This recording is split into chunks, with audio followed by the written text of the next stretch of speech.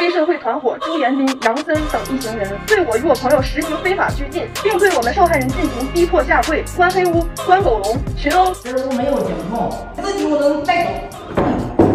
唐山警方纵容当地黑恶势力，我报警后并没有得到妥善的处理，被警方草草了事。抖音。